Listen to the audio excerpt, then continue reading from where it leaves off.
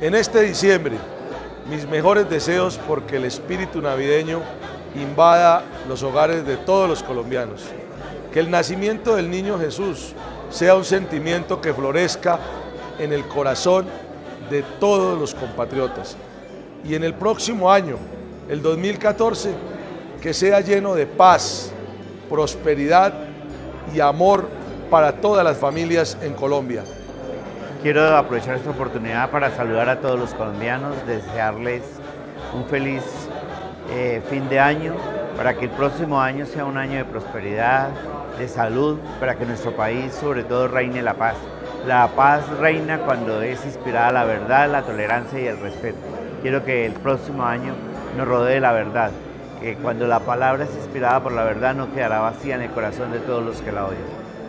Quiero desearle a todos los colombianos feliz Navidad y próspero Año Nuevo.